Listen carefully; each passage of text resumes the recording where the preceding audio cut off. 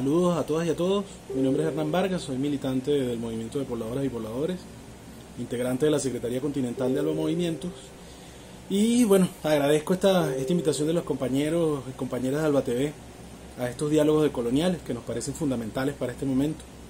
Yo quiero hablarles un poco de, o quiero plantear algunas ideas en torno a un elemento o a una tesis central que es la necesidad de descolonizar la política en América Latina. En un momento donde hace unos años alguien nos decía, o alguna gente nos decía que, que estamos frente a un fin de ciclo progresista, que nos recordó mucho aquel decreto de, del fin de la historia de, de unos años atrás. Eh, y justamente en este momento creo que desde buena parte de los movimientos populares consideramos que lejos de ser el momento del fin de la historia, estamos en pleno momento de latencia de la historia y es justamente fundamental volver sobre la política. Pero no sobre, habría que decir que yo creo que hay una cantidad de gente volviendo sobre la política y eso se expresa en las calles en los últimos, en los últimos meses, tanto el año pasado con todas las movilizaciones de masas en Chile, en Colombia, en Ecuador, en Bolivia, pero también toda la cantidad de gente movilizándose en las calles en Argentina y luego ganando las elecciones con el, con el dúo Fernández. Eh, entonces creo que es un momento estelar para la política. Hay un, hay un continente que más que nunca está en disputa entre proyectos, en un momento de crisis civilizatoria, donde hay que volver sobre la política, pero nos atreveríamos, yo me atrevería a decir que la mayoría de la gente que está en la calle está volviendo sobre otra política. No está pensando en la misma política tradicional, que es la que yo diría que es la política justamente de la modernidad, la política colonial. Creo que esta gente todos los pueblos que en esto que en este último tiempo se movilizan en las calles están precisamente en contra de esa de esa política colonial y entonces toca repensarnos la política desde otro lugar eh, de la, desde la descolonización. Y en ese sentido yo eh, quisiera retomar algunas ideas que plantea Enrique Dussel planteó a, a comienzo del 2000 justamente cuando este continente era un hervidero que dio lugar a todo ese proceso de, de, gobiernos progresistas y de movilizaciones de calle contra el neoliberalismo, eh, construye este libro llamado, este, este cuadernillo, ¿no? llamado Tesis sobre Política, y plantea cómo este es un aporte para toda la gente que va a la calle a movilizarse, a pelear en ese, en ese momento. Y yo creo que es bueno retomar ese material que me parece que no ha sido suficientemente leído sobre todo estudiado, analizado, reflexionado, porque es el momento de volver sobre la política. Y me parece importante retomar esto que él planteaba de que la política que nosotros empujemos tiene que responder a tres principios fundamentales. Tiene que responder a un principio material, un principio para la reproducción y la garantía de las condiciones materiales de vida. Tiene que responder a un principio democrático, de legitimidad. Tiene que ser un, un, un, proyecto bajo el cual o detrás del cual estén las mayorías. Y tiene que ser un proyecto que responda a un principio eh, de viabilidad, de factibilidad. Tiene que ser un, un proyecto posible, real. Y bueno, a partir de esa idea yo quisiera reflexionar sobre 10 elementos que me parece que son, bueno, algunas ideas no para que estemos de acuerdo, sino para que todo lo contrario, para que demos una discusión que seguramente dentro de las distintas expresiones de izquierda, desde quienes disputan poder desde lo local, en las construcciones territoriales, desde quienes disputan poder en lo sectorial, desde distintos ámbitos de pelea, eh, por los derechos de la mujer, por los derechos de los trabajadores, por los derechos del ambiente, eh, contra la corrupción, contra el racismo, pero también para que desde aquellos que, que disputan política, desde la construcción de organizaciones políticas, desde frente que apuestan al terreno electoral, a la construcción de espacios de poder en, la, en, en espacios de gobierno, ¿no? Desde todos esos ámbitos de la izquierda me parece que es fundamental que, que generemos un debate crítico y reflexivo sobre algunos elementos. ¿no? Entonces, en ese sentido quiero plantear al menos 10 elementos sobre los cuales debatir. El, el, primer elemento tiene que ver con esta idea de... O sea, creo que lo, lo fundamental sería arrancar como por este principio material que plantea Dussel, ¿no? Cómo la política es algo que reproduzca, que responda a la vida. Y en ese sentido creo que habría que pensar cómo una política eh, en términos de coloniales tiene que eh, cuestionarse la idea de, del modelo de desarrollo y del modo de acumulación al que nosotros estamos apostando o al modo reproductivo al que estamos apostando. Ese tiene que ser un debate que se ponga en el centro Y no puede ser, tiene que dejar de ser un debate meramente retórico, ¿no? Tiene que ser un debate que ya ponga en la centralidad elementos y cuestiones, mitos que hemos reproducido desde las apuestas de izquierda del, del último tiempo. Si verificamos lo que han sido las experiencias de los últimos 20 años, muy probablemente habría que decir que no, no hemos puesto un cuestionamiento real en el modelo de desarrollo en la perspectiva de disputar poder. ¿no? Porque hay quienes entonces cuestionan el modelo de desarrollo, pero no plantean ninguna posibilidad de disputa política para transformar la sociedad, sino que se paran desde el extractivismo, se paran desde, desde las cuestiones, desde el cuestionamiento al desarrollo, pero no nos planteemos de real cuál es la construcción material concreta que necesitamos eh, andar. Y creo que ahí hay algunas cosas que hay que poner sobre la mesa de lo que han sido los avances o las expresiones concretas de este tiempo. Creo que hay que poner sobre la mesa este planteamiento que se evidencia sobre todo en este tiempo de pandemia. Este es un modo de reproducción de vida, de reproducción de sociedad que está basado en la reproducción de capital. La vida está subeditada a la reproducción de capital. Y en un momento tan crítico como este, donde la lucha de la mayoría de los pueblos es por preservar la vida, pues la única forma que incluso eh, los procesos que puedan ser nacionalistas o progresistas encuentran de intentar resguardar la vida es justamente inyectar capital sobre los circuitos de acumulación de capital. Porque tenemos en la idea de la cabeza de que los circuitos capitalistas eh, permiten la reproducción de riqueza, cosa que realmente no es cierta. Realmente en la mayoría de nuestro continente el capitalismo realmente existente es un capitalismo financiarizado que se basa cada vez más no solo en el extractivismo de los recursos, sino en la extracción de todas las formas de valoración, de, generación de valor que hay en nuestras comunidades. Y entonces allí tenemos expresiones en la mayoría de nuestras ciudades, en la mayoría de los campos, donde por un lado tienes a los, los pequeños campesinos, la agricultura campesina, la agricultura familiar, que según la misma FAO ha planteado, viene dando de comer a la mayoría de la población. Y nosotros, sin embargo, seguimos manteniendo la idea moderna, colonial, que nos implantaron de que esas son expresiones marginales, que no tienen nada que ver, que no tienen mayor expresión en las economías, cuando, por supuesto, si lo pensamos desde el modelo de circulación de capital, puede ser que no tenga mayor relevancia, pero cuando lo pensamos en términos de la reproducción de la vida, si está dando de comer a la mayoría, allí necesitamos nosotros poner con seriedad un proyecto político que piense eso como elemento central es un punto de confrontación fundamental con el capital. La práctica nos puede decir que el MST ha venido, en Brasil, me refiero al movimiento sin tierra, ha venido avanzando en una recuperación de tierra,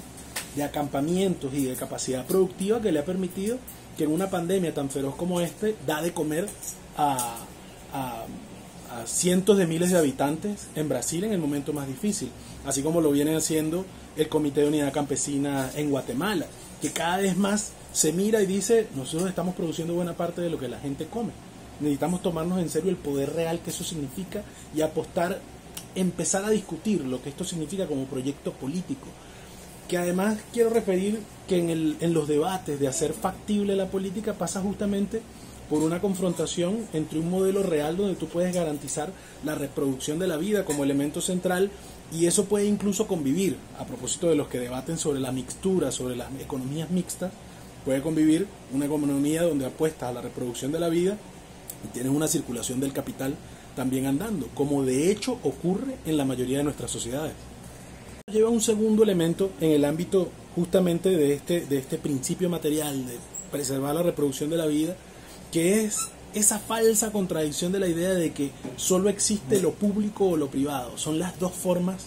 de, de administración de la sociedad, de reproducción económica, de reproducción política, de reproducción cultural. Y, y, buena, y, buen, y en buena parte, desde las expresiones izquierdas generalmente, o nos pensamos lo comunitario como formas locales, como formas que no deben o que pueden disputar con el Estado, pero manteniendo sus espacios, pero sin que sean formas que apuestan a desplazar las formas tradicionales del mercado y del Estado.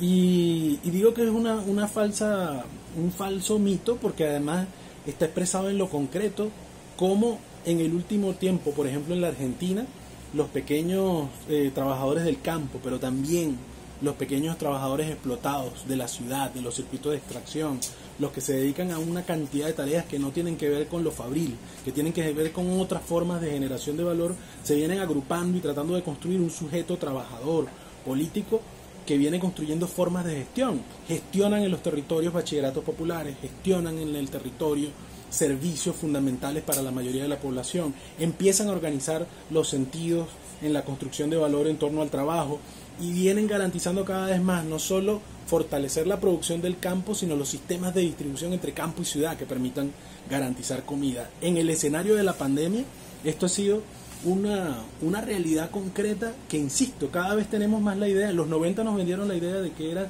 eh, buenas prácticas, pequeñas expresiones prácticas que había que tratar de, el Banco además Interamericano lo, lo financiaba, el Banco Mundial, con la intención, con esta vieja tesis de Robert McNamara, de aplacar la posible subversión tirándole algunas dádivas a la gente. Pero en la realidad tenemos unos tejidos que han venido construyendo formas de gestión colectivas, comunitarias, que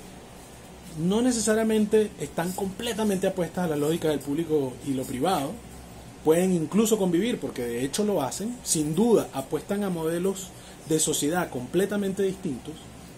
pero en el medio lo que nos ponen en cuestión es nuestra idea de cuáles son las economías mixtas. Cuando pensamos en lo mixto siempre pensamos, bueno, entre lo público y lo privado, entre los pequeños circuitos, concentrados de capital o grandes circuitos concentrados del capital y el Estado. Y ahí se discute cómo se maneja lo común, cuando en realidad tenemos formas comunitarias, colectivas, que tienen una gran capacidad de disputa y que nosotros necesitamos empezar a ponerlo con centralidad en las discusiones, con seriedad dentro de las discusiones de la izquierda. Y entonces allí es donde quiero entrar en un tercer elemento, que tiene que ver también con este principio de lo de material de la política, ¿no? No es posible garantizar, empujar un proceso de construcción soberana donde intentes desplazar las formas tradicionales, el modelo de desarrollo, construir formas mixtas que van más allá de lo público y lo privado y empiecen a construir esferas de lo colectivo, de lo comunitario, si no construyes esferas de integración en el continente que,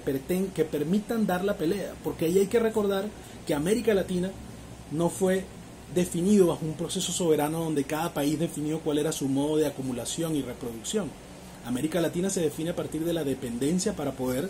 tributar al capital global. Entonces no solo dar materias primas baratas, no solo garantizar trabajo apropiado, sino distintas formas de apropiación de valor, recursos del Estado que son tomados para las esferas financieras del capital a nivel global. Y esto entonces nos lleva a la necesidad de identificar que no hay posibilidad de construir proyectos alternativos si no hay ejes de integración. Y allí pasa por una discusión muy grande, porque en el último tiempo entonces vemos cómo hemos dejado relegadas iniciativas de integración como la CELAC, Petrocaribe, ALBA, TCP, UNASUR, desde las expresiones concretas, además de, de, de las construcciones políticas de base, tendemos a pensar que son iniciativas que atañen a los gobiernos, que atañen a los estados, y lo dejamos en ese terreno y no son entonces terrenos de disputa para nosotros. Y la realidad es que al día de hoy esta iniciativa de Chávez y Fidel de Petrocaribe ha permitido que el Caribe tenga algunos niveles mayores de soberanía frente a la situación que enfrenta. Y nosotros necesitamos entonces defender la bandera de Petrocaribe porque además tiene que ver con una estrategia que planteó Chávez en, en el caso de Venezuela, y me disculpan la permanente referencia con Venezuela, pero no hay manera de, sacarse de allí y creo que además es como de lo más respetuoso que uno puede hacer, ponerse como ejemplo en el caso de Venezuela, esa, este, este planteo de Petrocaribe y este planteo de formas de integración tienen que ver con apostar a construir un mundo multicéntrico y pluripolar, que es una nueva forma de dimensionamiento de las expresiones de poder en el mundo que se oponen a la lógica del imperialismo. Y quizás nos colocan en una clave más programática, estratégica, y nos sacan de ese debate maniqueo de si cambiamos, que es una tesis que me parece que además hay que mirar con mucha mayor rigurosidad, de que estamos en una transición entre el imperialismo norteamericano, yanqui, hacia un imperialismo chino. Parece que ese es un debate maniqueo que al final no hay como precisarlo, no creo que haya como una institucionalidad que le hace un pase de poder de una a la otra, y en todo caso nuestro lugar de disputa tiene que ser desde un espacio concreto. Y esta, esta tesis de cómo construir un mundo multicéntrico, pluripolar, es fundamental, sobre todo si pensamos en los distintos escenarios que tenemos. No hay posibilidad de que Cuba, Venezuela, Nicaragua sobrevivan a los escenarios de bloqueo tan fuertes a los que nos han impuesto si no hay alternativas de integración que permitan garantizar no tanto o no solo la circulación de capital, sino que permitan sobre todo los elementos materiales necesarios. Y allí donde estas cosas se juntan. Pensar en un modelo de desarrollo que trate de garantizar fundamentalmente la reproducción de la vida, las condiciones materiales, donde lo público y lo privado no son las únicas dos formas, sino que hay formas comunitarias, colectivas, de distinto orden, que interactúan, y al mismo tiempo pasa por una articulación o un conjunto de articulaciones regionales que nos permitan construir mínimos niveles de soberanía en ese sentido. Allí entonces quiero entrar en un cuarto elemento que ya tiene que ver entonces con esta dimensión de lo, de lo democrático, de los niveles de legitimidad en la, en la construcción de la política, que tiene que ver con cuestionarnos nuestra forma de construcción política. En el último tiempo el continente,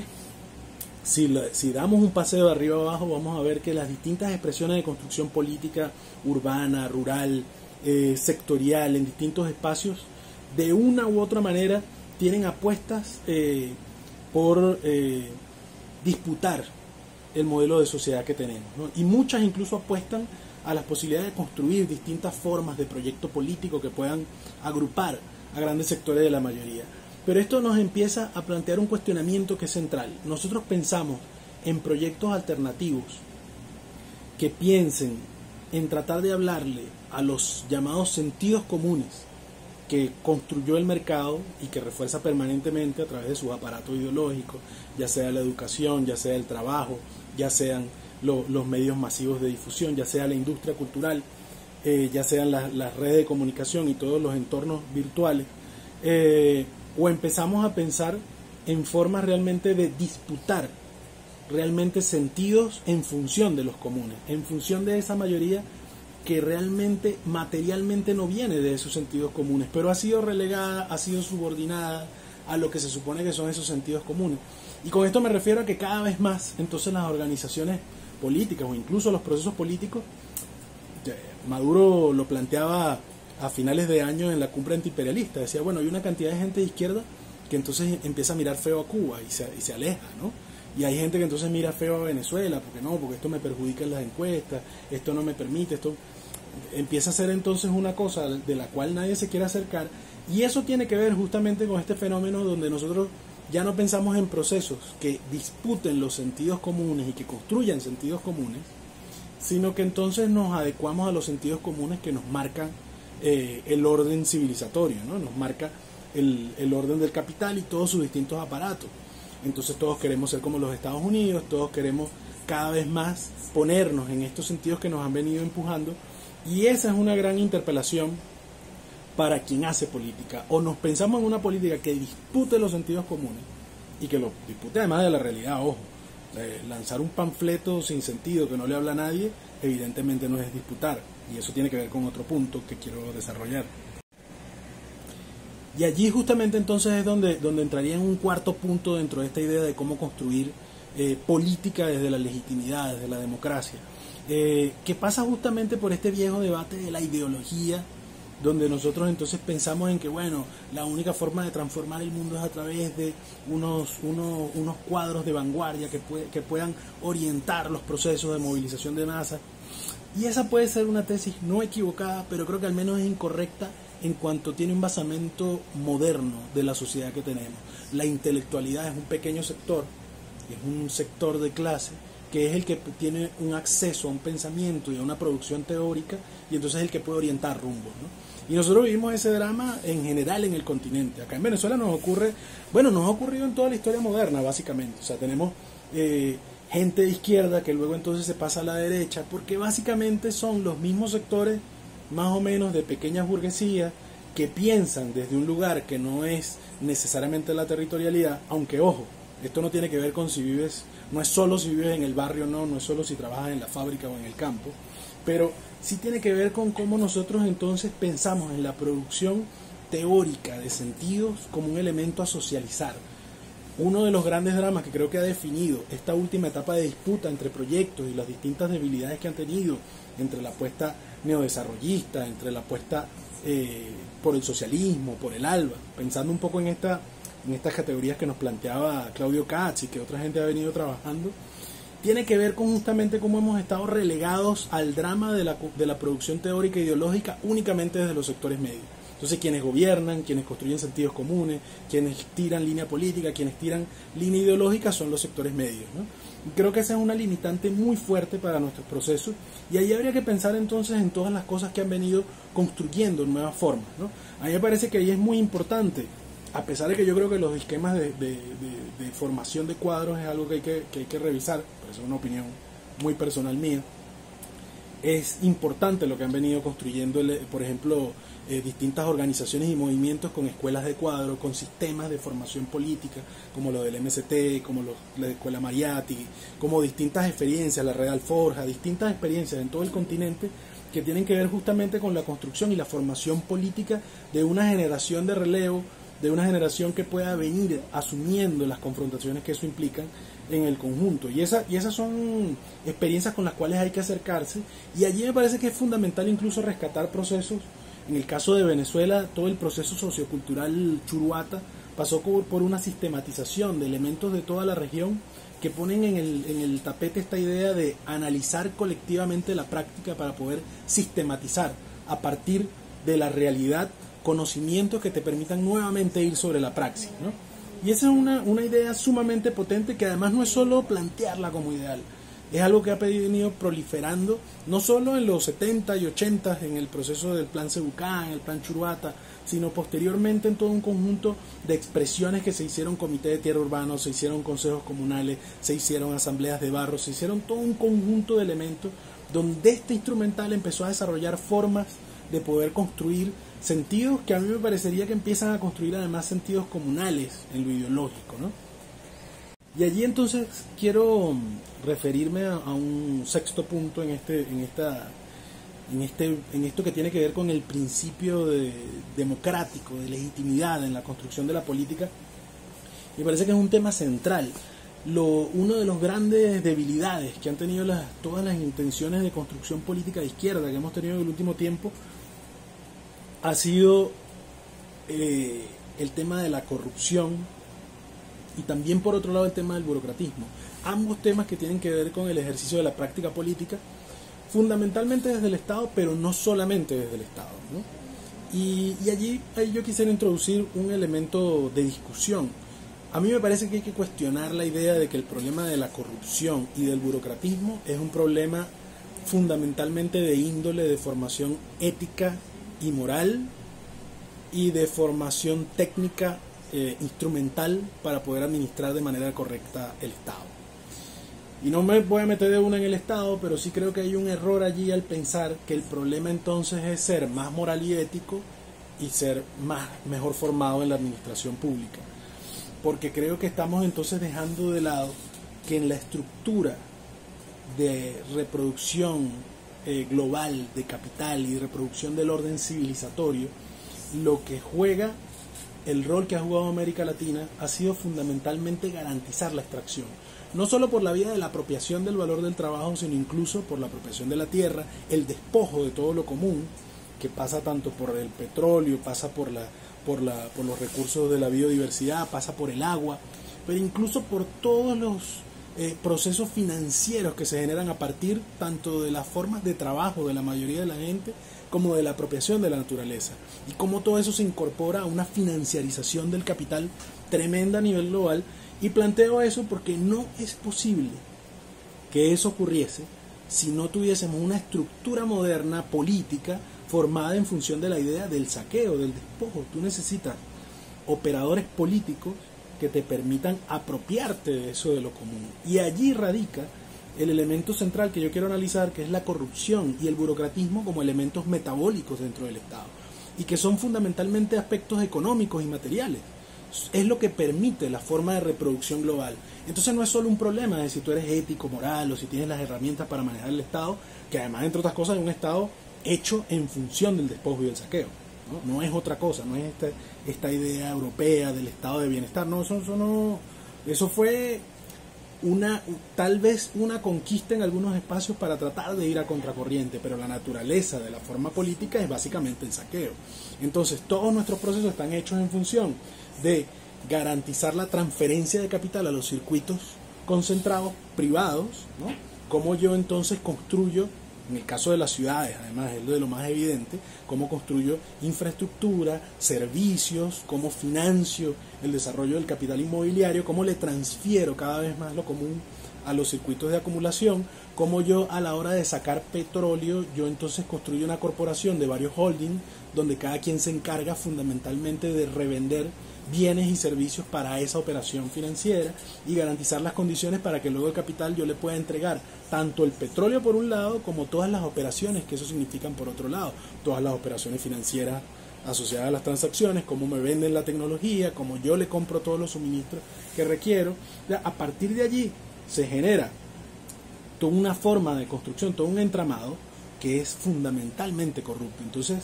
yo con esto no quiero, por supuesto, excusar la corrupción y el burocratismo, sino trato de darle otra dimensión. Tienen una dimensión metabólica, es un problema de otro orden.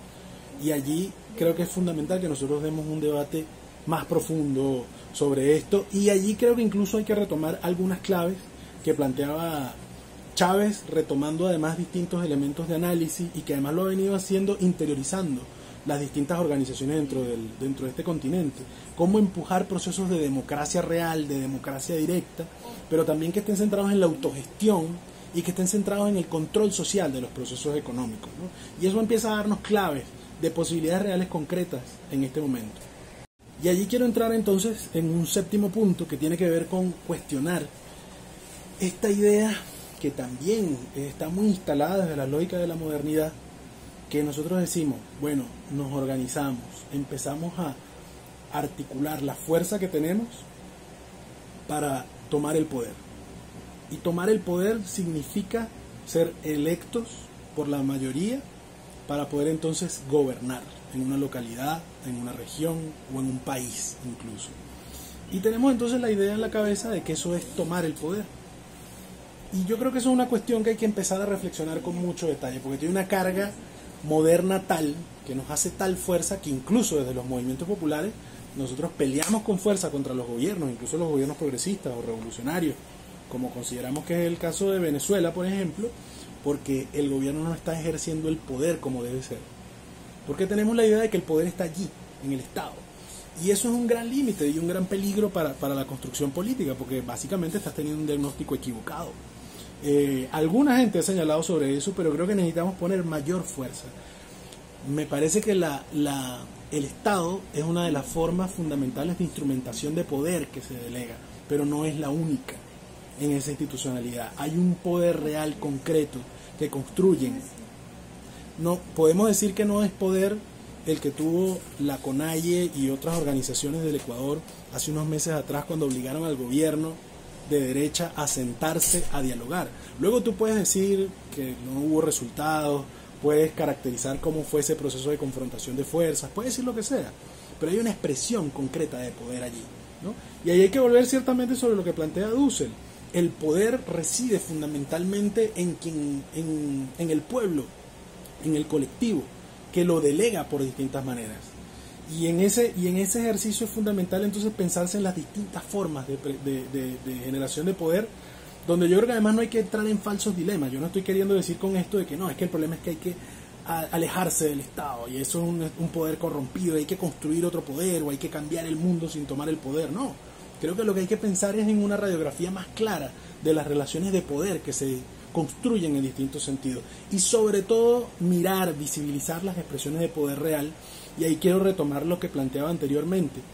Los procesos de construcción autogestionaria que han habido en todo el continente, tanto por ejemplo en toma recuperación de fábricas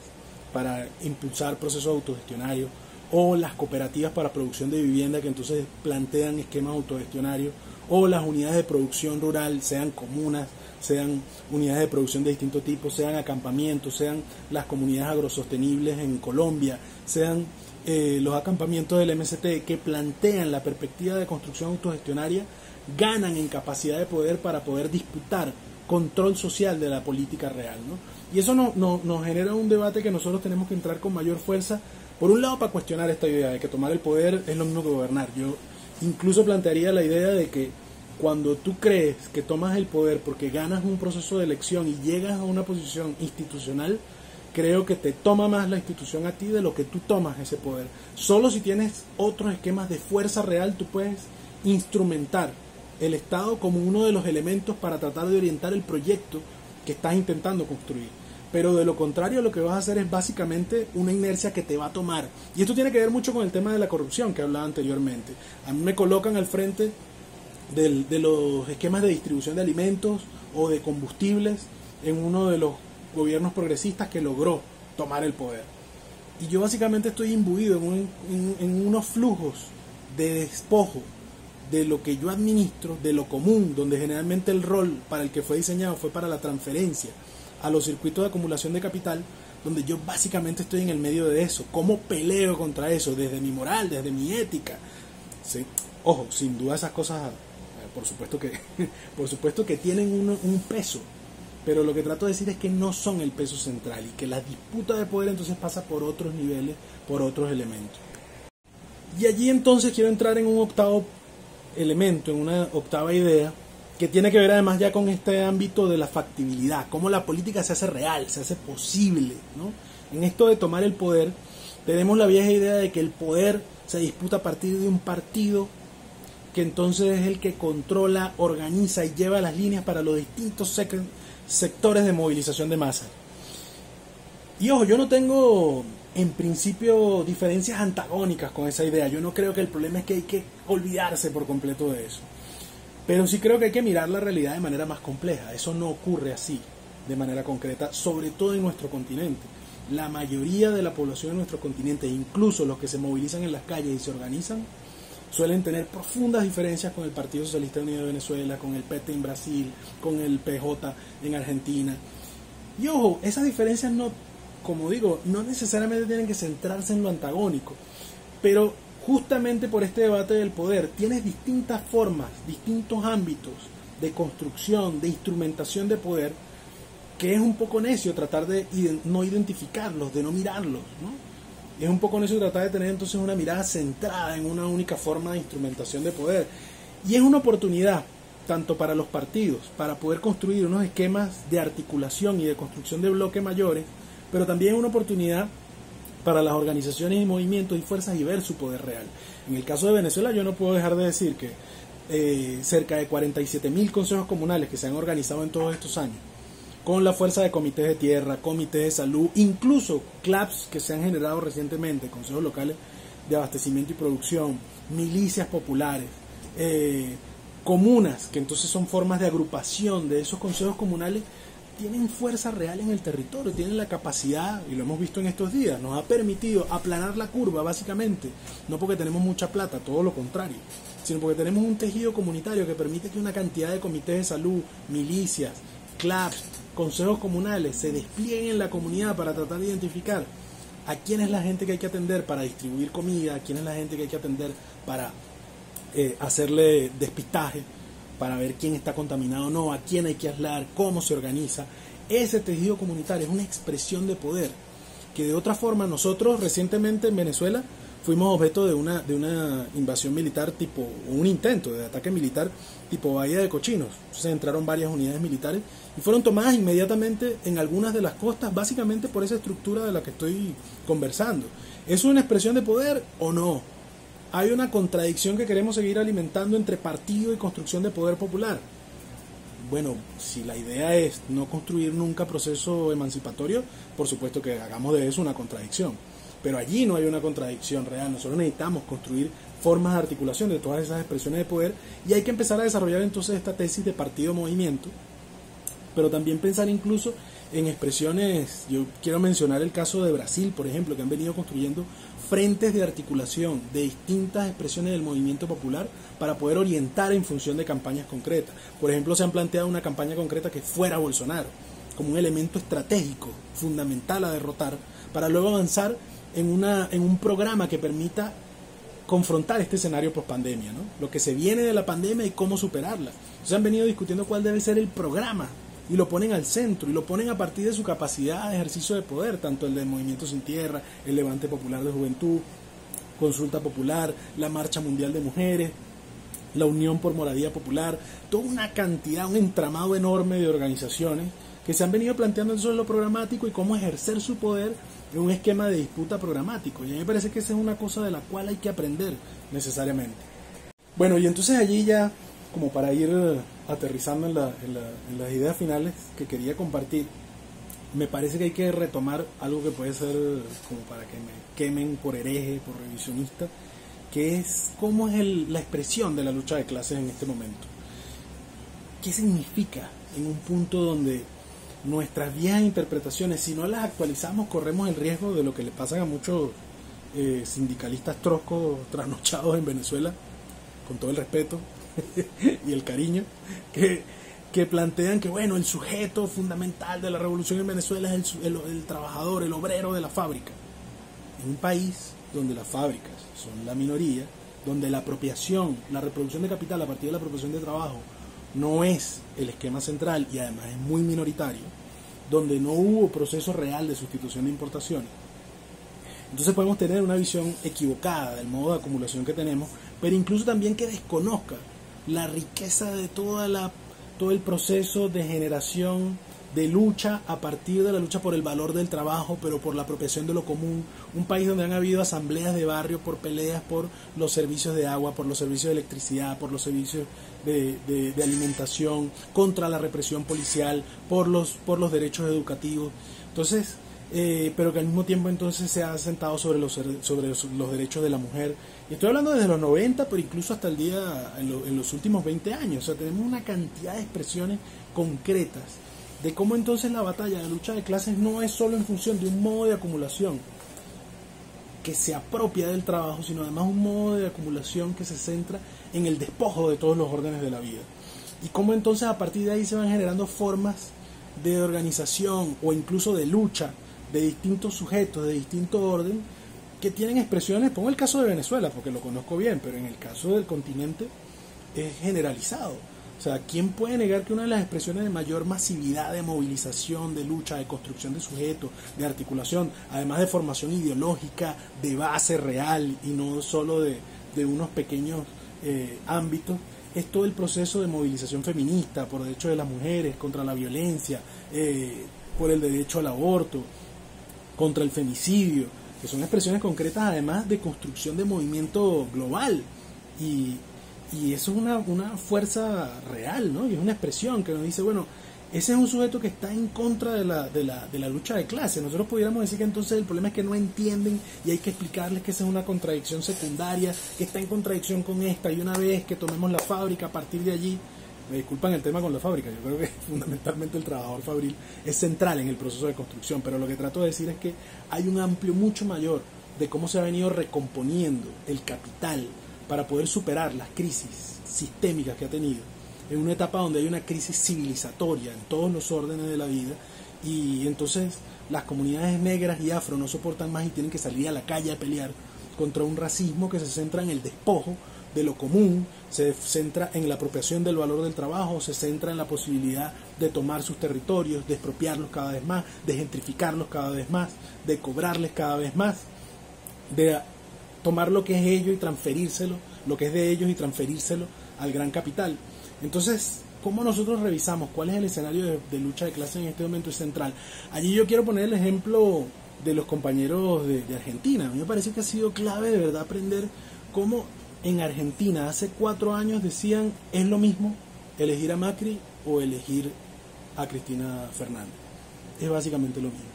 Y cómo esas organizaciones de base en su distinto tipo, donde es muy fuerte el sindicalismo, donde la capacidad de producción industrial es bastante fuerte, siempre lo ha sido, pero también la producción del campo, pero también las campañas feministas y de mujeres, eh, en, bueno, la campaña Ni Una Menos y en muchas otras, han sido expresión de mucha fuerza. ¿Cómo lograron nuclear todas esas fuerzas? Construir sentidos comunes para poder decir, nosotros necesitamos derrotar en este frente de todos, de todas, de todos, al macrismo para poder avanzar a un nivel de confrontación de otras contradicciones. Para hacer la revolución y conquistar el cielo por asalto, no. En una primera victoria estratégica que te permita luego entrompar a otras contradicciones que son las que están librando en este momento. ¿no? Y ahí entonces quiero referirme a un, bueno, una última idea que quisiera plantear eh, con, la, con la intención de que, bueno, evidentemente que hay demasiadas ideas, demasiado tela que cortar, pero quisiera entrar en el tema justamente a propósito de lo que mencionaba antes, de la construcción de bloque. Y cómo ese bloque empieza a construir ideas comunes sobre las cuales batallar, sobre las cuales pelear, y que permitan hacer algo que allí yo creo que es fundamental rescatar lo que dice Juan José Bautista de Bolivia, que nosotros, la izquierda necesita ampliar su marco categorial, no puede seguir llamando las cosas, a propósito del ejemplo que ponía antes de, Argentina, teniendo dos, un par de bloques para poder explicar absolutamente todo. Entonces tú dices, no, este, este, este o es neoliberal o es socialista revolucionario. Y desde esa lógica entonces la aplicaron cuatro años atrás y alguien desde los sentidos políticos decía, bueno, es lo mismo. Yo para poder categorizar a Cristina Fernández y poder categorizar o lo que implica esa opción política y lo que implicaba el macrismo, básicamente están ambas en el neoliberalismo. No hay manera de caracterización un poco más allá. Y creo que es importante entonces en esa construcción del bloque cómo tú empiezas a desarrollar un marco categorial mayor. Que insisto, creo que es lo que alguna gente ha venido haciendo. Yo vuelvo con el ejemplo de CATS y recientemente uno de los grupos de trabajo de Claxo también volvía sobre esta idea de empezar a, mirar, a caracterizar los distintos proyectos en disputa en el continente. Y ahí creo que central entonces cómo ciertamente nosotros nos pensamos en construir bloques de fuerza en función de caracterizar de manera compleja nuestra realidad, salir de los maniqueísmos y tener caracterizaciones más precisas. Nosotros de Venezuela podemos decir, apoyamos el proceso que en este momento se pelea, por ejemplo, en, en, Argentina, entre muchas cosas interesantes, una de ellas es la pelea por poder nacionalizar o estatizar Vicentín, uno de los, uno de los aparatos de, que tiene que ver con, la, con, con los alimentos, uno de los monopolios eh, alimentarios. Pero entonces allí pasa una discusión por una discusión maniquea de que si lo estatizas es revolucionario y si es privado o eh, privatizado, entonces es neoliberal. Esa es una discusión que por sí misma necesita muchos más matices para analizarlo, para poder identificar cuáles son los elementos de pelea. Porque en el caso, nosotros en Venezuela lo podemos decir porque ciertamente no necesariamente la estatización por sí sola implicaba una medida revolucionaria. Muchas veces podía ser una medida de transferencia de capital que básicamente reproducía el rol metabólico del Estado en nuestra región eh, y que no necesariamente apuntaba a la, a la construcción de tejido, de tejido revolucionario. Ah, ¿eso quiere decir que entonces hay que estar en contra de las, de las estatizaciones? No, yo creo que es absolutamente necesario pelear por reducir el control de lo común, por la vida del mercado, por la vida de las expresiones privadas. Creo que hay que ampliar lo público manejado por el Estado, pero sobre todo además lo público, lo común, manejado por un bloque de fuerzas de, desde los pueblos. Y allí me parece que es muy importante entonces pensar en esta articulación. En el caso de Venezuela, por ejemplo, eh, Chávez planteaba esto de cómo construir procesos donde tú empiezas a generar un tejido orgánico de un solo cuerpo. Él hablaba de pueblo, fuerza armada y gobierno, ¿no? como parte de un mismo cuerpo. Y yo creo que esas son cosas sobre las que hay que entrar, pero me parece que hay que entrar con mayor fuerza además en lo que eso significa. Nosotros creemos ciertamente en que la vía comunal para construir el socialismo es un elemento central. Y ahí no me refiero solo a, bueno, hay que hacer comunas como en Venezuela. No, creo que lo comunal tiene que ver con ese sujeto en lucha, esa sujeta que en lo territorio pelea por una cantidad, en lo territorial pelea por una cantidad de cosas y que todas se nuclean en función de la lucha por la vida, por garantizar la reproducción de lo común, es la base comunal. Y quienes construyen formas de gestión alternativas, comunales, autogestionarias, de control social, de nuevas formas de propiedad, de nuevas estructuras de valor, que reconoce el valor que se generan, que tratan de frenar las formas de extracción de valor, todo eso es parte de la construcción de formas comunales. Y ahí habría que decir que nuestro continente, sobre todo si lo revisamos en esta etapa del coronavirus, de esta pandemia global, que creo que lo que ha hecho es exacerbar la crisis civilizatoria del capital, dan cuenta de una pelea a, a por justamente preservar la vida. Y donde las comunidades entonces tratan cada vez más de producir más, pero de generar formas de intercambio entre ellos. Necesitamos en este momento generar espacios de intercambio entre esas formas de distribución campo-ciudad que se están generando en Chile, en Argentina, en Colombia, en Venezuela, en Guatemala, en Nicaragua, hay que empezar a mirar eso como parte de una nueva construcción política, el, el proceso de integración del ALBA, y creo que allí solo quisiera cerrar con una idea. Y esta idea tiene que ver con que nosotros necesitamos entonces empezar a construir una política que reconstruya esperanza a partir de la materialidad concreta. Y esto creo que tiene que ver con esta idea de descentralizar, descentrar la producción ideológica, la definición de política de los sectores medios. Hay que construir, hay que socializar la producción teórica de política desde la práctica concreta, porque es una necesidad para poder reconectar, volver a materializar el discurso político y la agenda política que se ha venido alejando cada vez más de los sentidos de la gente. Y allí es donde el Big Data, en sus distintas expresiones, donde esta nueva, esta nueva sociedad que pareciera avanzar hacia una cuarta revolución industrial gana terreno en los sentidos comunes, individualiza y habla con cada quien, identifica a cada quien lo que quiere en su teléfono, en su tablet, eh, y genera un... Hace además de eso un, un commodity absolutamente maquiavélico. El, el commodity cada vez mayor son los datos de información que levantan de nosotros, porque te permite gobernabilidad económica, política. Y frente a eso nosotros hemos venido construyendo nuevas formas de socialidad, o sea, la colectividad, la capacidad de construir tejidos comunitarios que apuntan a la crianza, al amparo, han permitido que cualquier cantidad de organizaciones de base en nuestro continente estén mirando cómo proteger a los mayores, cómo proteger a los niños, cómo tratar de eh, tejer tapabocas para todo el mundo, cómo tratar de eh, tener comedores populares, cómo distribuir comida para quien más lo necesita, tener puntos, puntos de atención en el Ecuador, tener puntos de atención en Colombia, tener puntos de atención en, en los países del sur, como en Bolivia además se pelean en medio de esto, incluso se van a la calle porque no hay otra más que pelear por ese orden alternativo que necesitas construir. Pero allí cierro con la idea de que hay que pensar en construcción de bloque y hay que pensar en construcción de bloque tomándose en serio. Yo planteaba todos estos elementos, estas 10 ideas de discusión para pensar cómo nosotros volvemos sobre la construcción de un programa, pero no solo pensando en la dimensión de lo que ideológicamente, idealmente debería ser. Hay que pensar sobre la dimensión de cómo responde a la materialidad concreta, cómo tiene legitimidad y tiene una base democrática que la mayoría de la gente identifique, vea, sea parte, pero que además sea real, posible Allí yo quiero cerrar destacando varios debates que se han puesto sobre la mesa en ese sentido. En los últimos cuatro años, desde Alba Movimiento, se ha estado discutiendo cuál debería ser el proyecto de, integración alternativo. Y se plantea entonces que tiene que ser un proyecto que tenga al menos ejes centrales como el internacionalismo solidario entre, entre pueblos, pero que también pase por la democratización y la construcción de poder popular, que también se centre en la construcción de una economía para el, para el buen vivir, para la vida, pero que esté centrado fundamentalmente en la construcción de feminismos populares, en la defensa de los derechos de la madre tierra y en una batalla ideológica por la descolonización en la cultura. Ese es un, un, elemento que hay que poner en debate fundamentalmente, empezar a ver cuál es ese orden de sociedad que nosotros queremos construir y sobre todo cómo lo hacemos carne y cómo lo identificamos en la carne concreta que lo, que lo nutre. Pero también entonces la semana pasada el ALBA TCP ha sido una discusión sobre cuál es el modelo económico que debe prelar en esta nueva etapa post pandemia. Maduro habla de una economía real y yo lo, yo lo relacionaría con esta idea de Dussel de una economía factible, de una, de una política factible, que sea viable. Eh, y ahí entonces los compañeros Villa y Prashat planteaba la idea de 10 puntos que podían centrar un programa de avanzar globalmente contra, contra, contra el capitalismo como una expresión de la, de la pandemia que es la crisis civilizatoria. Entonces,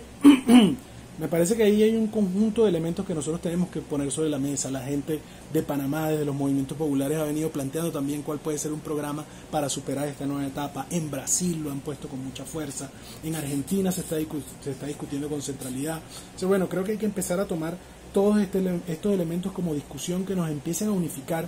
desde la construcción local, desde la construcción de luchas sectoriales, desde la construcción para la disputa de poder institucional, desde todos los distintos ámbitos de construcción eh, de fuerza en función de lo común, tenemos que empezar a construir elementos comunes de intercambio, de debate político, para construir una política real, no solo descolonizada, sino además yo me atrevería a decir una política comunal, fundamentalmente, para lo común, desde las comunes y los comunes.